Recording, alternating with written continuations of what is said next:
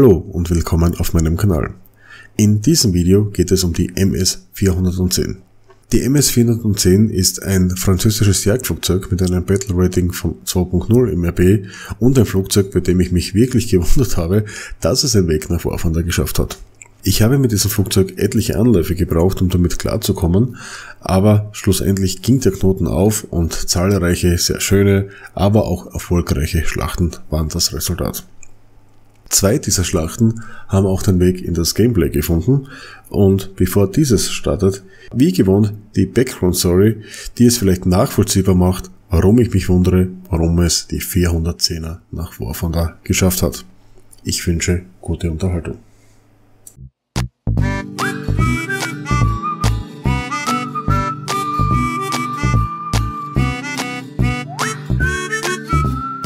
Die Moraine Saulnier 410 oder auch kurz MS 410 war eine verbesserte Version der MS 406 und somit auch wie das Vorgängermodell ein französisches Jagdflugzeug während des Zweiten Weltkrieges.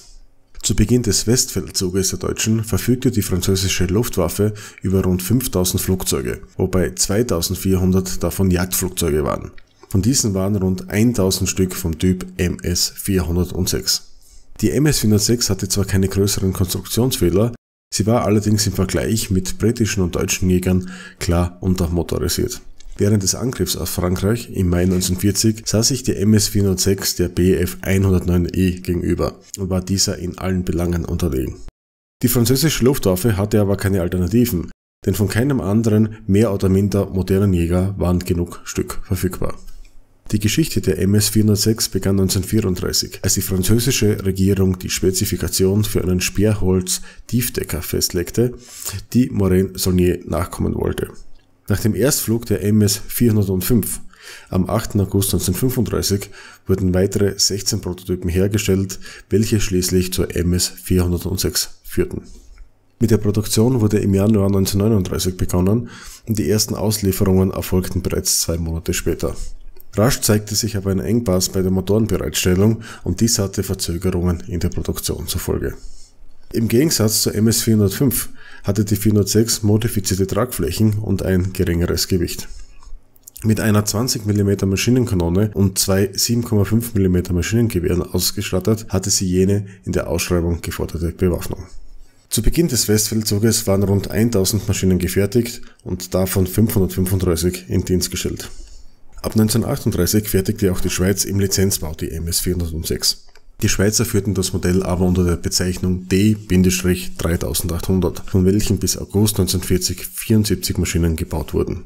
Mit Beginn der Produktion der MS 406 wurden aber auch schon Anstrengungen unternommen, das Flugzeug zu verbessern. Stärkere Flügel, ein besserer Kühler sowie in Summe vier Maschinengewehre und eine Steigerung der Höchstgeschwindigkeit um fast 30 kmh führten final zur MS 410. Die MS 410 war eine klare Verbesserung zur MS 406. Jedoch brachte dies kaum einen Vorteil für die französische Luftwaffe, da zu Kriegsbeginn Frankreich nur fünf Stück der MS 410 verfügbar hatte. Nach der Niederlage Frankreichs modifizierte Deutschland noch einige 406 Modelle zur MS 410, wobei dies meist nur die Flügel betraf.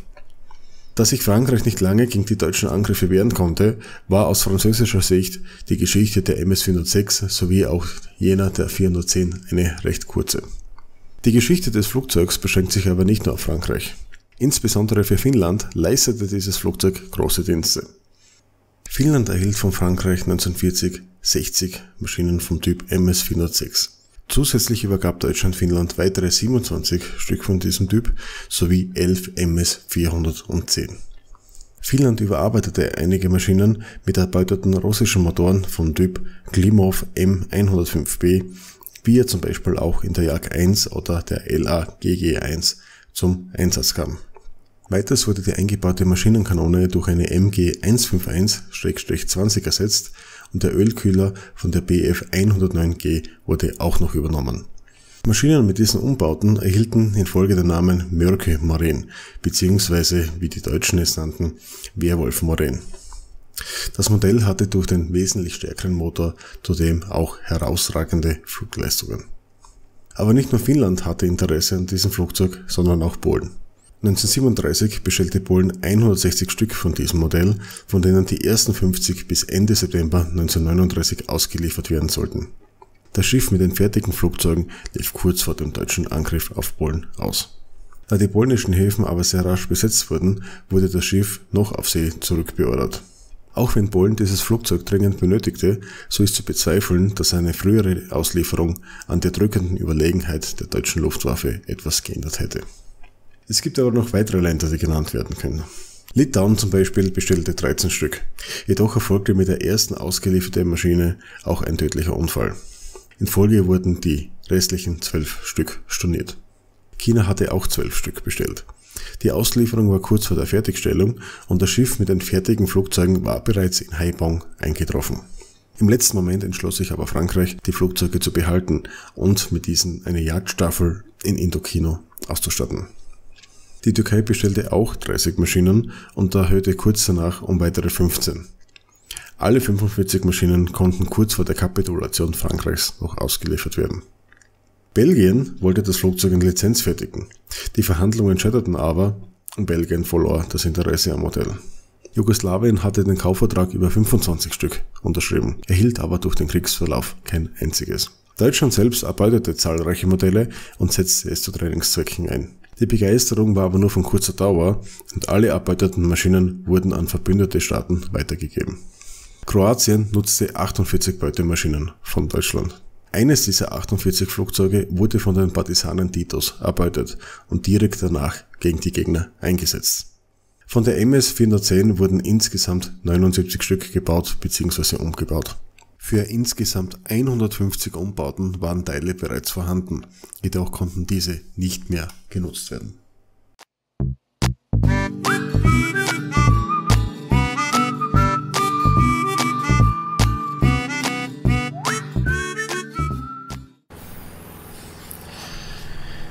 Wir fliegen über den Ardennen. Flughöhe mittlerweile fast 4000 Meter. Die Aufnahme hat jetzt erst ein wenig später gestartet. Aber es trifft sich gut. Wir kommen jetzt gerade rechtzeitig mit der Aufnahme auch zu den ersten Gegnern und wir sehen vor uns schon eine SM-79. Ein Bomber der Italiener, der ein Zweig der Italiener, wie auch der Deutschen vorhanden ist. Und ja, SM-79 äh, gibt etliche Modelle oder Varianten davon im Spiel. Mal schauen, welche das hier ist, denn was ich jetzt probieren werde, ist eines meiner neuen Hobbys in letzter Zeit, Head-Ons mit Bomber. So, und hier kommt sie auch schon und na, na, Ganz gereicht hat es nicht, aber man hat gesehen, das war jenes Modell, das nur zwei Motoren hat, sprich da fehlt der dritte Motor in der Schnauze, aber nicht nur der Motor fehlt, sondern auch das MG. Und was macht der Kollege hier? Tja, der macht uns jetzt einfach, der dreht nochmal ein und na, jawohl. Äh, erster und zugleich leichter Kill für uns, aber es soll mir recht sein.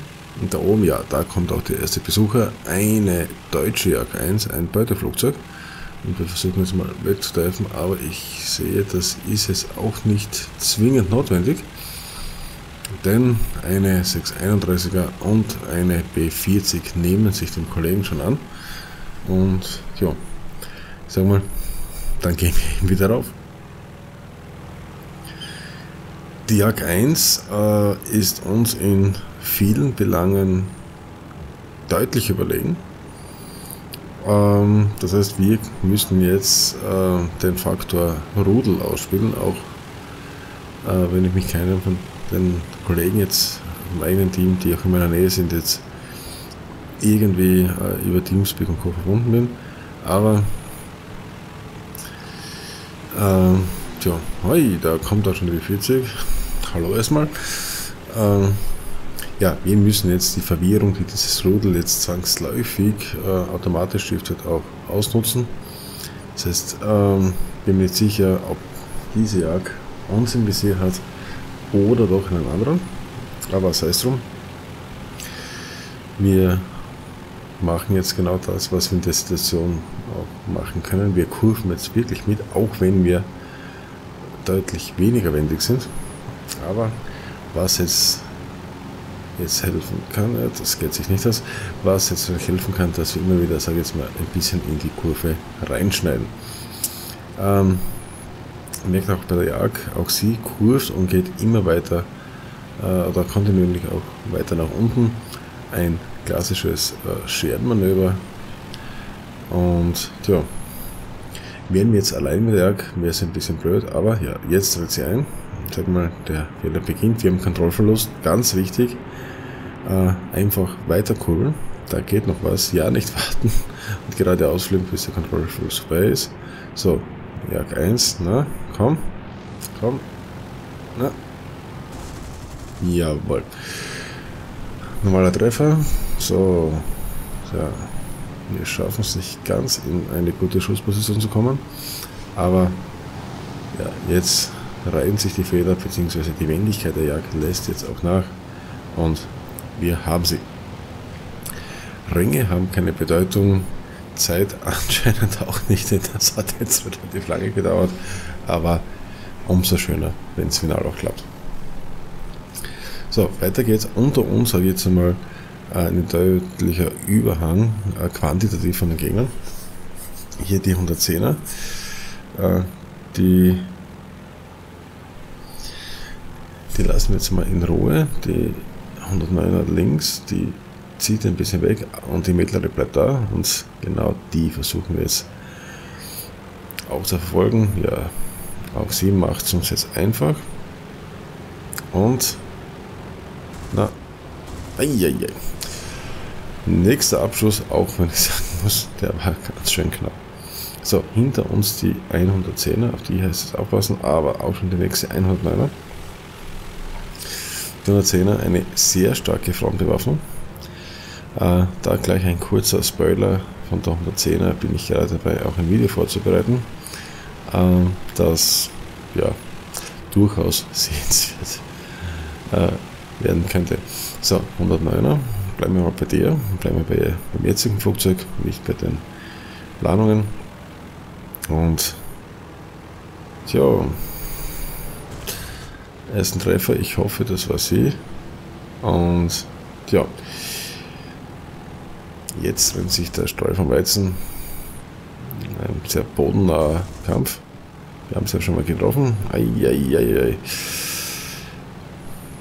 Na, komm, komm, komm. Jawohl. Vierter Treffer. Also auch knapp über den Baumwipfeln kann man noch gut spielen.